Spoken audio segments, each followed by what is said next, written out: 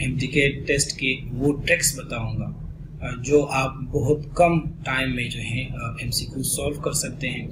कैसे आप एक एम को कम से कम टाइम में सॉल्व करेंगे, ये वीडियो में मैं आपको अभी ये ट्रिक बताऊँगा।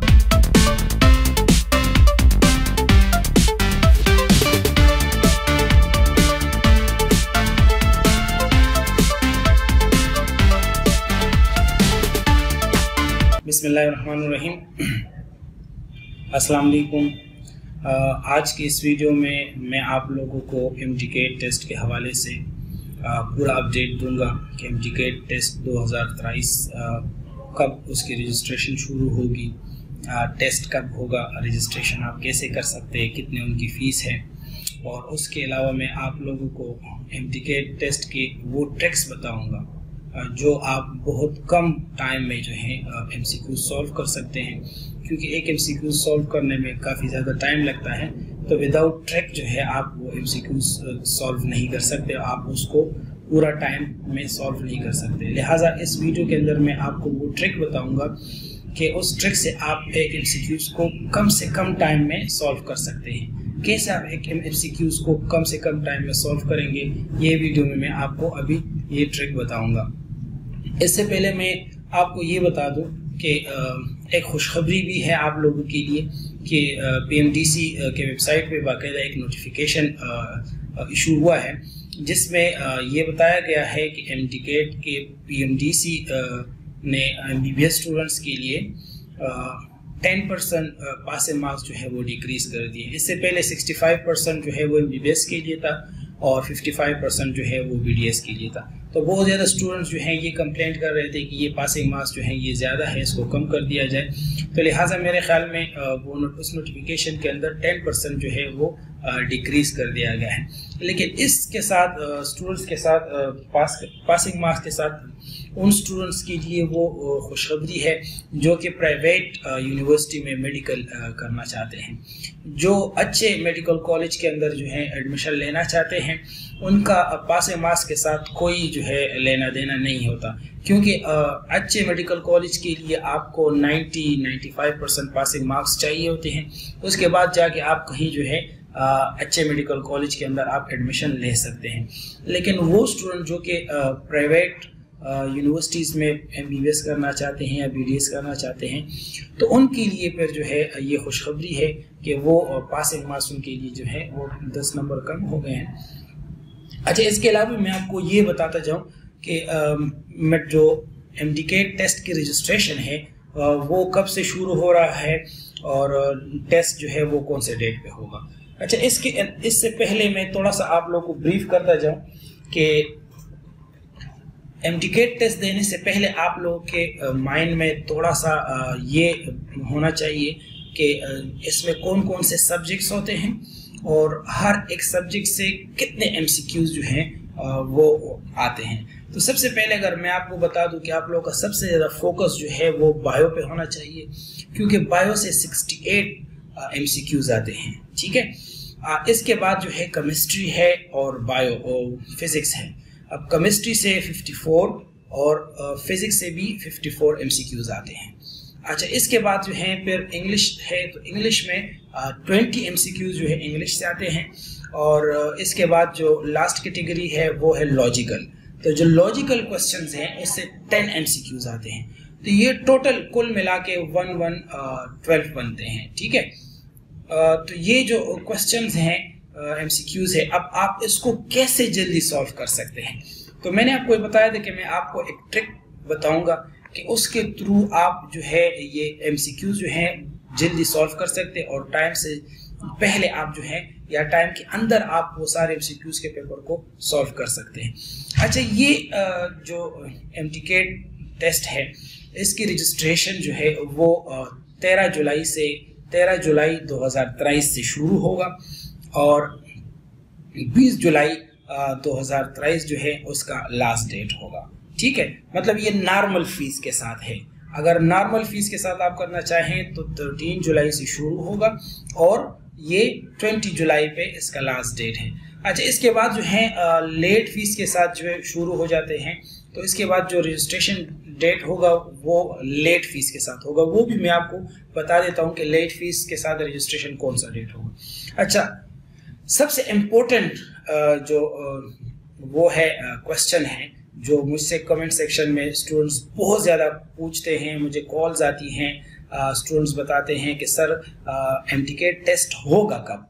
तो जो मेन क्वेश्चन है कि एम टेस्ट होगा कब तो उसका क्वेश्चन का आंसर ये है कि एम टेस्ट जो है वो 27 अगस्त को होगा। ठीक है? अच्छा इसके अलावा मैं आप लोगों को थोड़ा सा और भी ब्रीफ करता जाऊँ। जो पीएमडीसी हैं उन्होंने एक बस इशू किया है पूरे मुल्क के लिए। जो एम टेस्ट होगा पूरे मुल्क के थ्रू जो है ये एक ही सिलेबस के अंडर होगा। अच्छा फिर जो है आ, क्या होगा? हर एक प्रोविंस को जो है हर एक प्रोविंस का पेपर अलग अलग होगा। सिलेबस पूरे मुल्क का एक है। ठीक है? लेकिन पेपर जो पेपर होगा, वो पूरे मुल्क का एक पेपर नहीं होगा। अब हर प्रोविंस का अलग अलग पेपर उसी सिलेबस के अंदर सिलेबस एक है, उसी सिलेबस के अंदर हर एक प्रोविंस अपना अपना पेपर बनाएगा, खुद। तो पेपर वो चेंज होगा। केपी का पेपर चेंज होगा पंजाब का पेपर चेंज होगा सिंध का चेंज होगा बलूचिस्तान का चेंज होगा। अच्छा अब ये ये भी आप लोग के माइंड में होना चाहिए कि सिलेबस एक है तो एक ही सिलेबस आप लोग तैयारी शुरू कर सकते हैं।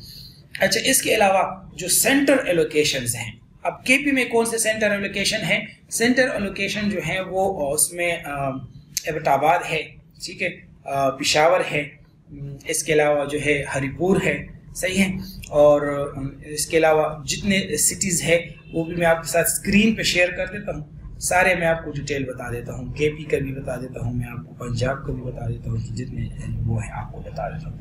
लेकिन सबसे ज़्यादा इम्पोर्टेंट बात ये है कि आप उनकी तैयारी जो है शुरू करें, ठीक है? टाइम आपके पास कम है और एक जो सजेशन मैं आपको दूँगा ईटा की तैयारी के लिए कि आपका नींद जो है ये पूरा होना चाहिए। अगर आपका नींद पूरा नहीं है तो फिर आप तैयारी नहीं कर सकते। अब इस नींद पूरे होने के मतलब ये नहीं है कि आप जो है सारा रात जो है बस सोते रहें। लेकिन आप अपने नींद के लिए खाम खा जो है प्रॉपर टाइम दें और इसके लिए जो है ना आप तैयारी शुरू करें। टाइम आपके साथ कम है कल से इंशाल्लाह इसकी रजिस्ट्रेशन शुरू हो जाएगी ट्वेंटी सेवन पे इसका एग्ज़ाम है। मैं आपको स्क्रीन पे लेके जाता हूँ, वहाँ पे आपको पूरा डिटेल जो है वो मैं बता देता हूँ। चले, ये स्क्रीन की तरफ़ जाते हैं, मैं आप लोगों को बता दूँ, ये देखें एम रजिस्ट्रेशन दो डेट्स ठीक है? और ये इवेंट कौन सा है? ये एम डिकेट है। अच्छा P M D C MDCAT registration start कब स्टार्ट हो रहा है? ये तेईस जुलाई 2023 मतलब 13 जुलाई से जो है ये स्टार्ट होगा। 13 जुलाई इनका स्टार्टिंग डेट है, ठीक है? तो मतलब तीन दिन बाद जो है ये तकरीबन शुरू हो जाएगी इसकी रजिस्ट्रेशन और इसके लास्ट डेट कौन सा है? रजिस्ट्रेशन 2023 का लास्ट डेट लास्ट डेट जो है वो 20 जुलाई 2023 है, ठीक है? 20 जुलाई तक आप नॉर्मल फ़ीस के साथ जो है वो अप्लाई कर सकते हैं। और इसका नॉर्मल फ़ीस जो है छः हज़ार रुपये है, ठीक है? अच्छा P M D C MDCAT late registration start अब 20 तक जो है नॉर्मल फ़ीस के साथ है 20 के बाद जो है नॉर्मल फ़ीस ख़त्म हो जाएगी लेट फ़ीस शुरू हो जाएगी। तो लेट फ़ीस के रजिस्ट्रेशन कब से स्टार्ट होगा? वो 25 जुलाई से स्टार्ट होगा। लेट फ़ीस रजिस्ट्रेशन ठीक है? लेट फ़ीस रजिस्ट्रेशन 25 जुलाई से शुरू होगा। और लेट फ़ीस रजिस्ट्रेशन जो है, उसकी लास्ट डेट जो है, वो कौन सा है? उनतीस जुलाई 2023 है। उनतीस जुलाई 2023 के बाद आप एम के लिए रजिस्ट्रेशन नहीं कर सकते, ठीक है? अच्छा ये इनका लास्ट डेट था, मैंने आपको बता दिया, ठीक है? अब इसके बाद आप लोगों ने अप्लाई कहाँ पे करना है, कहाँ जाना है, कौन से वेबसाइट पे जाना है, और वहाँ पे आप लोगों ने अप्लाई करना है। लिहाजा यहाँ पे ये एम जो इनका वो है वेबसाइट है, यहाँ से आप लोगों ने अप्लाई कर देना है, ठीक है? M dot P M C dot G O V dot P K यहाँ पर जाके आप लोगों को बाकायदा एक एप्लीकेशन फॉर्म आएगा। उस एप्लीकेशन फॉर्म में आपसे कौन कौन सी चीज़ों की ज़रूरत पड़ेगी? तो वो जो ज़रूरत पड़ेगी, जो जो चीज़ें हैं, वो भी मैं आप लोगों को बता देता हूँ। वो आप लोगों के सी ठीक है? आप लोग की फॉर्म पे मोबाइल नंबर ईमेल एड्रेस और आप लोग एक पासवर्ड देंगे, ठीक है? ये आप लोगों की ज़रूरत चीज़ें हैं। उसके टाइम आप लोग रजिस्ट्रेशन के टाइम आप लोग के साथ एक सी नई सी फॉर्म पे मोबाइल नंबर और ईमेल एड्रेस लाजमी होना चाहिए। और आप लोग एक पासवर्ड देंगे, उस पासवर्ड के बाद आप लोगों को लॉगिन करना पड़ेगा। अगर उसके बाद आप लोगों का तरीक़ेकार क्या है? स्टेप टू का क्या तरीक़ेकार है? स्टेप टू ये है कि आपने साइन अप कर लिया है सी नंबर और इन सारी चीज़ों से आपने साइन अप कर लिया है। फिर आप लोग क्या करेंगे? ईमेल के थ्रू एक वेरिफिकेशन कोड आपको मिलेगा। ठीक है? उस वेरिफिकेशन कोड और एक लिंक दिया होगा उससे आप लोग की वेरिफिकेशन होगी। जब आपकी ईमेल वेरीफाई हो जाए तो उसके बाद जो है, आप फिर अपने उससे जो है लॉग इन कर सकेंगे, ठीक है? Email that code from your email ID ठीक है? मतलब आप लोग सबसे पहले ईमेल अकाउंट जो है, वो वेरीफाई करेंगे, ठीक है? उसके बाद फिर क्या होगा? आप लोगों ने लॉगिन होना है। और उसी ईमेल से और पासवर्ड से आप लोग लॉगिन हो जाएँगे और प्रॉपर एक फॉर्म आप लोग को दिया गया होगा, वो फॉर्म लोग आप लोग फिल कर लेंगे और इसके बाद जो है आपको एक चालान प्रिंट के लिए आएगा।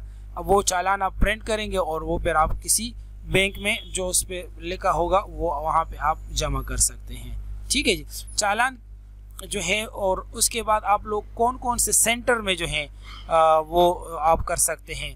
पीएमडीसी ने कौन कौन से सेंटर्स जो हैं वो अलाउट करने हैं तो वो मैं आप लोग को बता देता हूँ। अगर आप लोग के पी के में रहते हैं, ठीक है तो के में रहने के लिए सबसे पहले जो है कौन कौन से है? फॉर एग्ज़ाम्पल में यहाँ पे एबटाबाद है, एबटाबाद में सेंटर होगा, पिशावर के अंदर सेंटर होगा डीए खान के अंदर सेंटर होगा, और स्वाद के अंदर हरिपुर, बनू और कुहाट के अंदर जो है ये के पी के के यहाँ पे अलाट कर दिए जाएँगे। और अगर आप लोग बलूचिस्तान में रहते हैं तो कोयटा है और गवादर है। इसी तरह आज़ाद जम्मू कश्मीर के लिए मुजफ्फराबाद है और मीरपुर है। ठीक है, सिंध के लिए कराची, हैदराबाद, सक्कर, मीरपुर ख़ास है, लाड़काना है और नवाबशाह है। अगर आप पंजाब में रहते हैं तो पंजाब में सेंटर ज़्यादा हैं। पंजाब में आप लोग को रावलपिंडी है, गुजरावाला है, लाहौर है, मुल्तान है, बहावलपुर है, डीजी खान है साहिवाल है, गुजरात है, ठीक है, सरगोदा है, सियालकोट है, रहीम यार ख़ान और हसन अब्दाल और इसके बाद जो जहलम है, ठीक है, फैसलाबाद है, ठीक है, ये सेंटर जो है उसके लिए। और अगर आप इस्लामाबाद में रहते तो इस्लामाबाद में भी इसका सेंटर मौजूद है। तो आप जो है तेरह जुलाई के बाद जो है रजिस्ट्रेशन के लिए अप्लाई कर सकते हैं और उसके लिए आप अच्छे तरीके से तैयारी करें ताकि आपके अच्छे नंबर आ जाए। थैंक यू जी वसलम